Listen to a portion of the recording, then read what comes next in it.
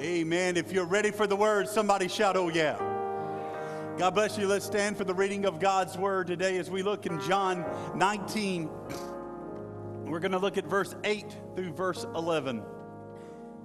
John 19, 8 through 11. And while you're turning there, let me just stop right here and say thank you to this church uh, for a tremendous summer. I, I'm telling you, I've been associated with ChristWay for over going on 20 years now. March will be 20 years. And I know that Summer at ChristWay, we, we travel a good bit, and that's good. I want you to travel and have fun. And, but I'll tell you, we've had the best summer attendance wise, finance wise. I, I don't think we dipped in the threes but once. And I'm going to tell you, I'm thankful. Pastor Keith is thankful. Pastor Jonathan, Pastor Jeremy, Pastor Rodney, because we ain't been sweating. Where's all our people out? Bless God thank you for at least doing it all on one Sunday. You know, just everybody getting it out of the way. But uh, we've had a great summer. I want to say thank you for your support. Thank you for your faithfulness. We've picked up some people. It's been a great, great season. I thank you for that. I, I like this thought here today, and I want to share it with you in John 19, 8 through 11. If you're there, somebody give me an enthusiastic amen.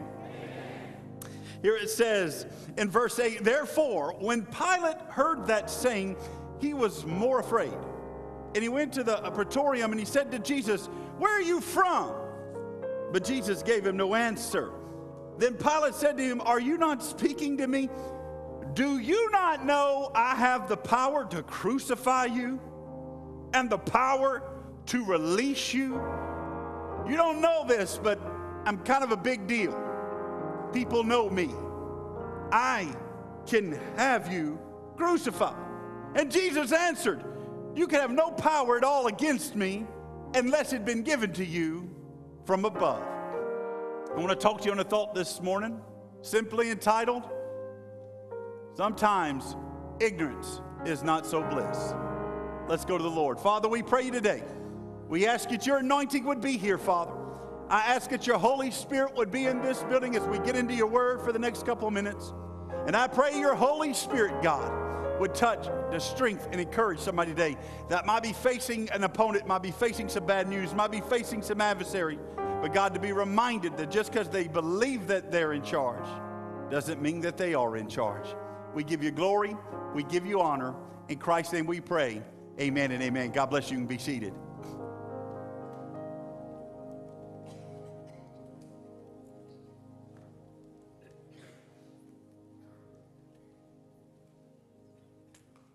Here's a unique situation here. To me, this conversation between the Roman governor Pontius Pilate and the Lord Jesus Christ sums up not only all the activity that is associated with the crucifixion, but also really everyday life that can occur on this planet. What's interesting is you've got the man who's in charge a nervous wreck. It's interesting to me. Pontius Pilate's speaking in this text and he's thumping his chest saying, I'm a big deal. I got a lot of things going on. I got many leather bound books, and my bedroom smells of rich mahogany. I'm a big deal. But even in all that fast chump, thumping, he's a nervous wreck. Because I think deep down on the inside, he knows what we all know. He's not the one in charge. Yet years of duty of, uh, of dealing with his, of his country, dealing with hardened criminals, have given him the instinct to tell the guilty, and this man does not fit the category. In fact, everything in him tells him that this man, Jesus, is innocent. But he can't let go. If he lets him go, there might be another revolt. There's another revolt in this horrid region he's been assigned. One more uprising could cost him his job. And so he's nervous about dealing with the people. He is questioning this man, Jesus. And he's able, he says, I'm able to set you free. But Jesus is not answering him. Jesus is being quiet. Jesus will not answer any of his questions. At this, Pilate tries to remind Jesus who he's dealing with. And this is what he says Do you not know that I have the power to crucify you and the power to release you? Here is where I have the mo- where I think the most important line of all the crucifixion that can sum up its power and its glory when Jesus answered and says, You could have no power at all unless my God had given it to you. Uh, think about that for just a second. If you're not careful, you will miss it. Jesus was saying to the most powerful man in this story that you've got no power at all unless it's that power that's been allowed and given to you from heaven. You've got no power other than what has been allowed from God. You see, Jesus was saying, Friend, you think you're calling the shots. You sit there in your fancy robe, you sit there on your throne of power, and you've convinced yourselves that you're calling the shots. But I'm here to tell you the only reason why I'm in this position right now is because God has allowed it. Let me stop right here and talk to somebody right now that your sickness, your debt, your depression, your problem, your failure, your adversary has stood up before you and declared to you that you're defeated, that he's got the power to grab you, the power to crush you. Your fear is looking at you and telling you that everything's over with. That problem on the job is staring at you saying, I've got you right where you want you.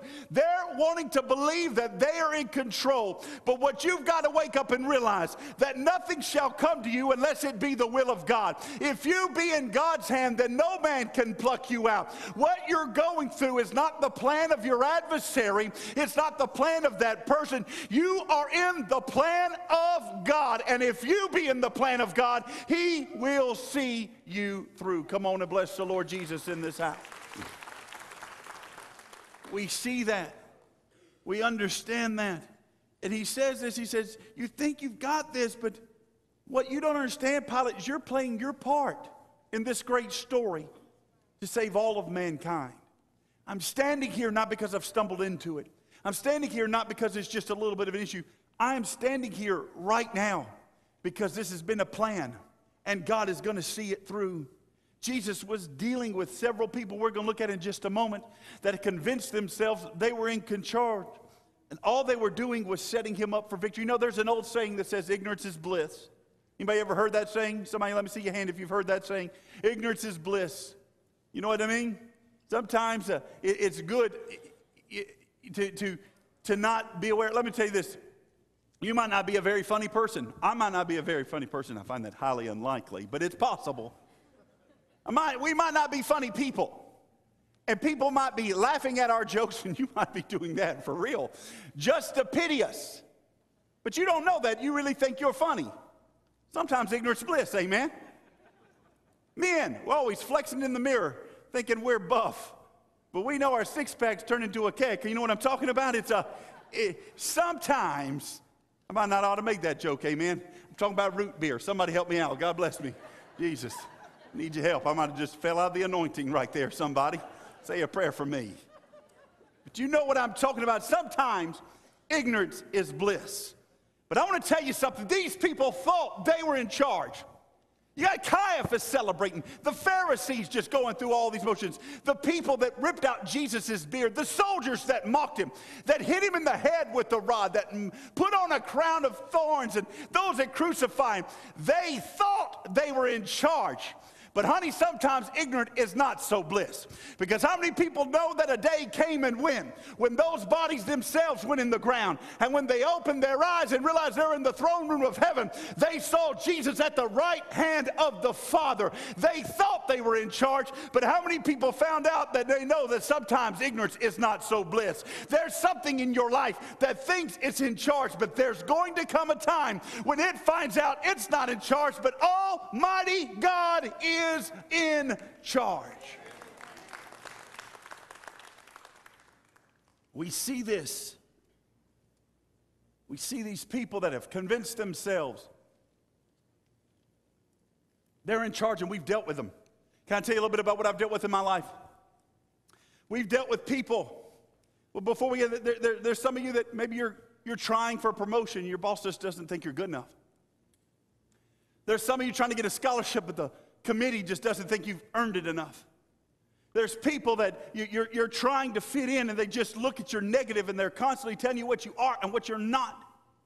But I'm going to tell you, these people convince themselves they're in charge when they're not. I, will think about a couple of things. I love this story. It's a true story. When we were living up here, when we moved up here the first time almost 20 years ago, and it's hard to believe, I believe this week is our five year anniversary of coming home. Man, it's hard to believe, and that'll make you scratch your head of how fast time goes by. But I think about when we got up here and we didn't have two nickels to rub together. We were working full time. I agreed because that's how much I wanted to be in ministry. I'd work full time on part time pay. That's how much I, I, wanted to be up here and, and to do ministry. And Carrie's trying to find a job. And a good opportunity had come along. And she went and she applied for this job. Now, you would talk about an interview. An interview kind of turned into one of those, you know, roasts. You know what I'm talking about, where people just kind of just poke at you? This woman, this man, just pretty much dressed down my wife. And these are some of the things he, honest to God, said. You're not qualified. I'm only doing this as, a, as respect to someone that went to church with us, but that I know uh, it would cost us more to train you.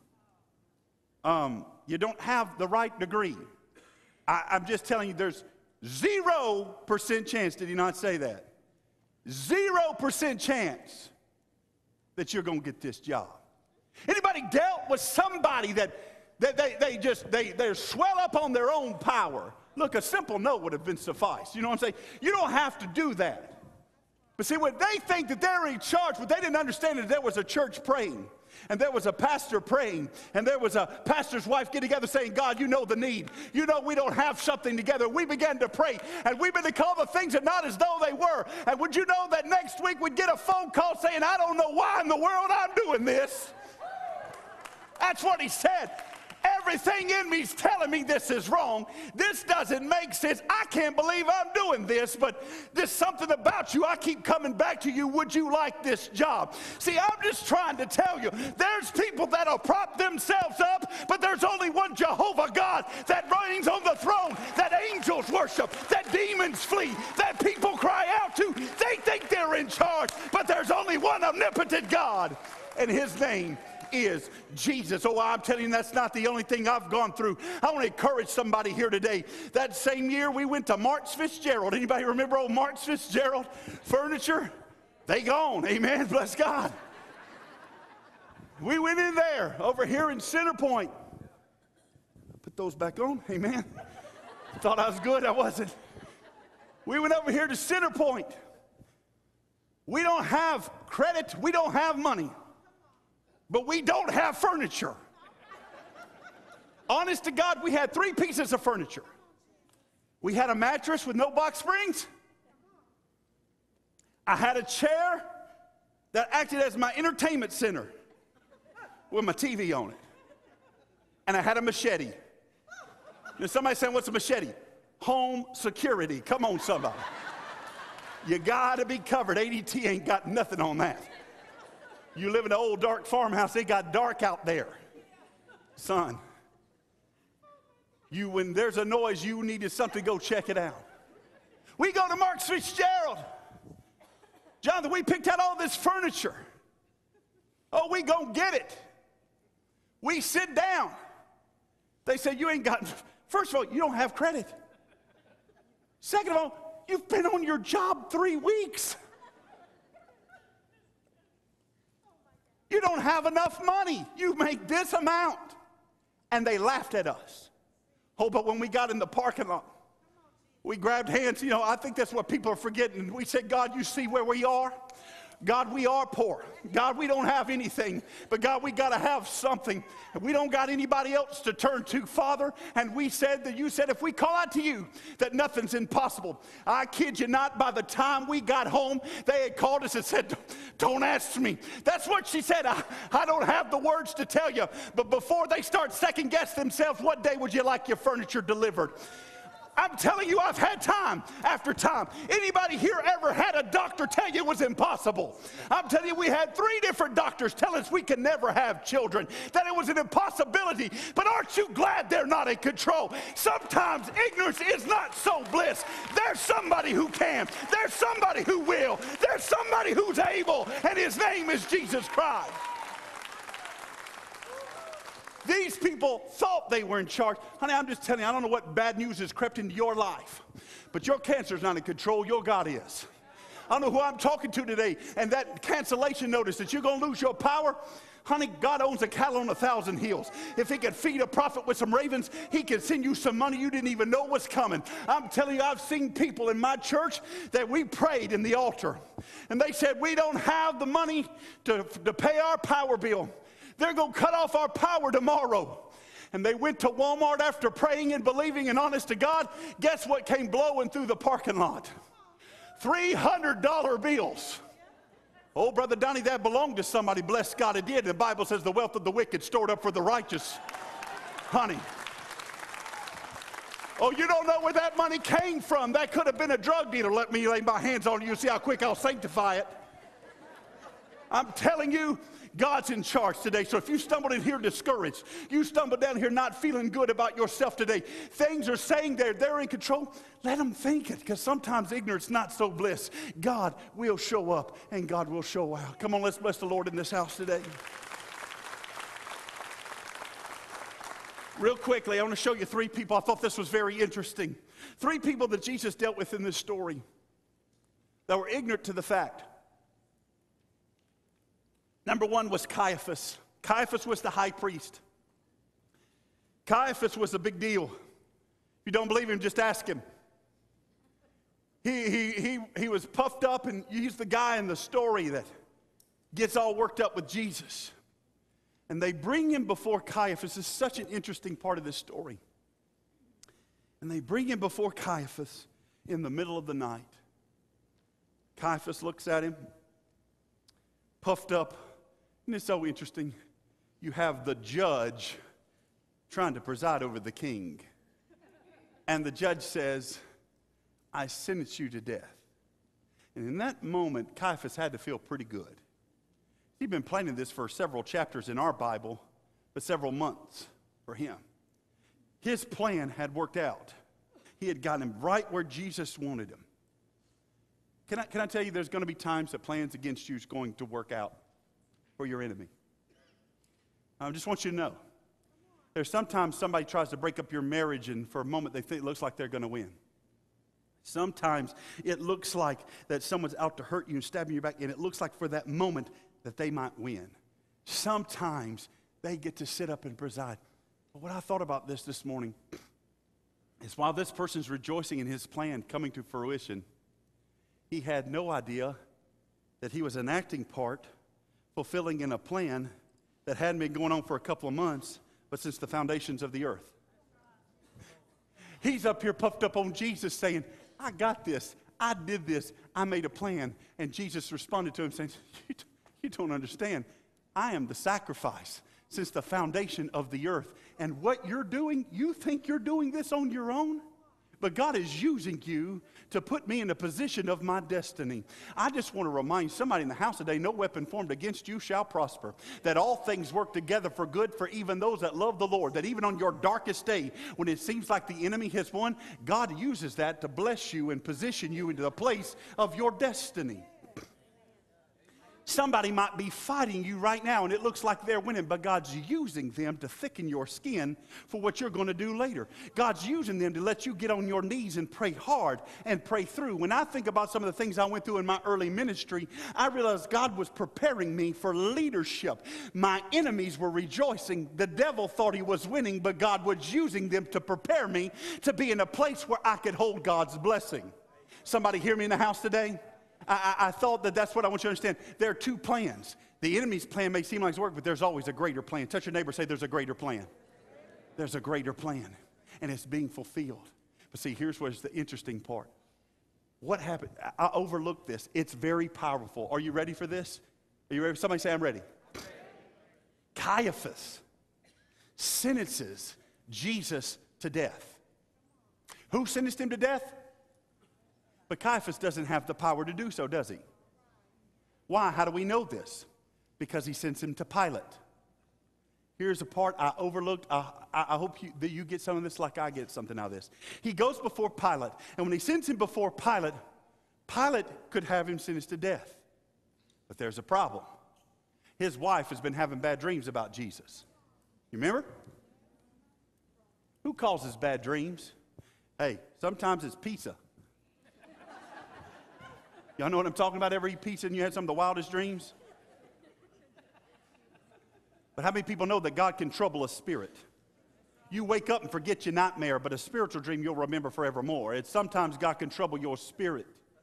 And Pilate will not profess judgment on Jesus. Read it. He won't do it. In fact, he washes his hands and says, I've got nothing to do with this. Amen. Got some distance on that one, son. Bless God. At least somebody's amen in me. Come on. Here, you might want to clean that up. I was about to pop it right back in.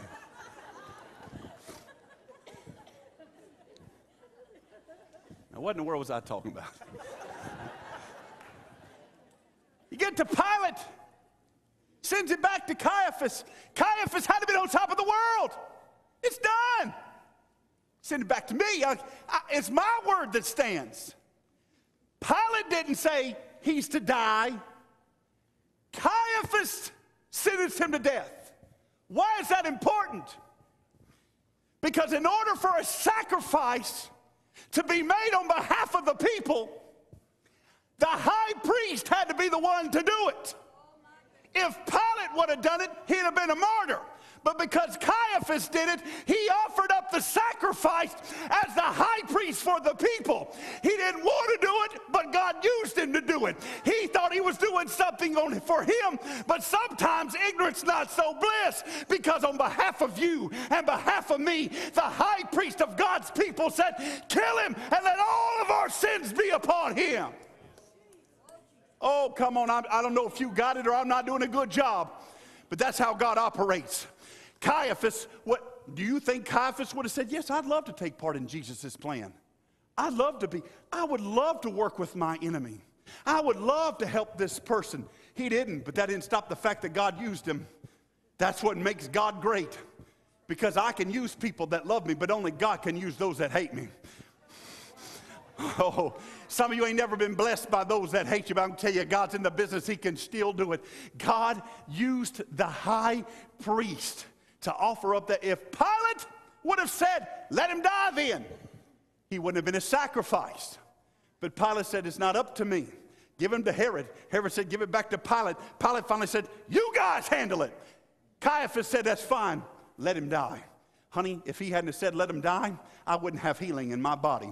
If he hadn't said, let him die and offered him up, I wouldn't have victory in my body. If he hadn't said, let him die, I wouldn't be able to break the bonds of addiction that have been on my life. If he hadn't said, let him die, you know what, more importantly than when we let our loved ones die and we put them in the ground, we wouldn't be able to rejoice in the face of death. But because there was a high priest that even didn't know he was acting that said, offer him up as a sacrifice, we now have victory through the blood of Jesus Christ. But that was not the only interesting part that happened with Caiaphas.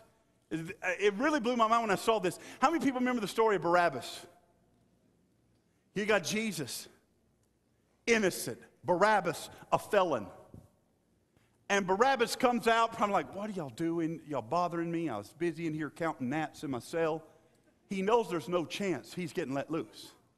And he comes out and he hears the people begin to change their plea because the high priest and the Pharisees start saying, We want Barabbas! We want Barabbas! Give us Barabbas! And people, being the sheep that they are, come on, somebody. You know why people believe what they believe today? It's because the TV tells them how to believe. Come on, don't get me preaching on something I'm not even supposed to be preaching on right now. Ever somebody come up and tell you that somebody's this and somebody's that, and you say, Well, why do you feel that way? I don't know. I heard it on TV. Sometimes people can be sheep. They start saying, We want Barabbas. And Barabbas is looking shocked. The high priest and the priest let go Barabbas. Said instead, we choose this one to which all of our sin unknowingly would fall. But did you know in the Old Testament in Leviticus, before there would be a sacrifice, there would have to be a scapegoat? And did you know before there would have to be a scapegoat, there'd have to be two goats? There would literally be two goats. One would be released, read your Bible, and the other would be sacrificed for the sin of people. I, am just telling you right now that Caiaphas was sitting here and they had no idea when they were pumping this up and propping it up that they had just let the scapegoat go and they had set up the sacrifice of Jesus Christ. I, I, don't know. I know at this point we might be confused, but I just want to tell you, isn't it good to know that no matter what we're facing and what we're going through, there's God that is absolutely in control. God used Caiaphas, and if you're thankful for that, let's give the Lord a hand clap of praise. I gotta go. I, I might be trimming some things, but I, I, I got to get this in. But notice this it was Caiaphas that sentenced Jesus to death, not Pilate. Point number two the second person that, that uh, thought they were in charge were the soldiers. And this is interesting. The soldiers play a, a key part in this. But before I can show you their importance, do you not remember when Jesus was arrested? Jesus says to them, why, why are you coming in the middle of the night again? Have I not been in the temple teaching and preaching? Have I not been doing all these things and yet you're coming at me in the middle of the night? And what happens with the Apostle Peter? Apostle Peter gets all worked up and takes his sword and tries to cut the head off of uh, somebody ends up only cutting off their ear. And Jesus picks up the ear and puts it back on and says, Look, we don't need this. I'm going to go freely. Do you understand that? Jesus surrendered. Jesus was not captured. Do you believe that? You know how I know that? Because when they said, Who's Jesus? and he said, I am he, the Bible says something happened spiritually that sent a sonic wave that knocked all the soldiers on their keisters. They had to pick themselves up and dust themselves off. Jesus was making it clear you ain't arresting me. Get it right. I'm surrendering. Now, why is that interesting? Because notice this, and I never noticed this till I began to study this. Notice that they take Jesus, the one who surrendered, who did not run away, who was going peacefully. The Bible says they bound him with chains. They took and bound him. Now, I didn't think about how interesting that was till I really started thinking about it. Jesus didn't run, Jesus put somebody's ear back on. Jesus said, I'll go with you. So why would they put chains on him? Moment they put chains on him had to be a symbol of victory for them. They put chains on his wrists. But what's interesting in this is, is I began to study, and when I was studying the scripture, I began to study the Levitical law and how they would offer up sacrifices for the people. And the Bible specifically says that the sacrifice must be bound. They didn't know why they were taking the chains out of their pockets and putting them on Jesus, but God did. I want to leave you with this, okay? Isn't it interesting to know that sometimes when people put chains on my life, we think the enemy's in charge, but it might just be God. There's only one way muscles grow, and that's with resistance and with friction. They cannot grow without it. We are the same way spiritually. Sometimes we have to have change put on us. Oh, you don't think about that? Think about this.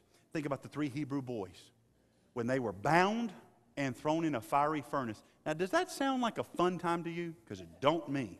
I didn't see that on the vacation package. Do you have anything about being char grilled in there? Because me and my family would love to be that. Anything? No? Think about that. They didn't ask for it, it had to be nerve wracking. It was hot. They could feel the heat. In that moment, we celebrate their victory, but live with them in their moment. That they say this if you throw me in that fire, my God's able to serve me, to save me. But notice what they say next. But even if he doesn't, they'll let y'all let you know. They knew it was a possibility. But even if they don't, no, we ain't bending them. We're not bending the knee. The stress in that moment, but God allows them to be thrown in the fire. But when they come through the fire, revivals brought to the kingdom. Sometimes when the enemy's chains are put on us, is so that God can position us. Samson, in his defeat, was positioned for the greatest victory of them all, but sometimes we have to have the chains of the enemy. And the third and final one is Satan. Satan had victory, he had it all lined up, he was celebrating. Let's take a look at this, okay? He corrupts the religious leaders. He gets in the heart of Caiaphas. He works and makes sure that God's people are no longer ruling themselves, but a heathen uh, country with a heathen God is in control. And then finally, he corrupts one of the 12 to have Jesus handed over. That's a pretty good plan. That's a pretty good plan. They take and they take Jesus. And I can't imagine the feelings that the enemy must have had when they began to pound those nails into his hands and feet and Jesus screamed out in pain. I imagine there was a lot of Gideon and laughing. Could be wrong, but I'm sure he was very happy.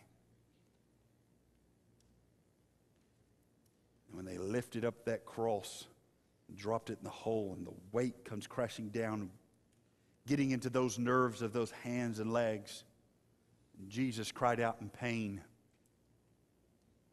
I can imagine that the enemy was pretty stoked about that. He had not counted on, and remember the words of Jesus. He said, When I be lifted up, I'll draw all men unto me. I just want you to know there's going to be an enemy in your life that's celebrating. He celebrates when you get defeated, he celebrates every tear. But what he has not learned is that God uses these moments to form us into who we need to be and to give us victory. So I want you to stand with me, if you will. And while you're, I think we've got one more little, we got one more little blank, I think. The enemy will always try to stop Christ's will. But all he ends up doing is perpetuating his will. I'm here to tell you the enemy cannot stop you. The enemy cannot hinder you. He can only hinder you. He cannot stop you.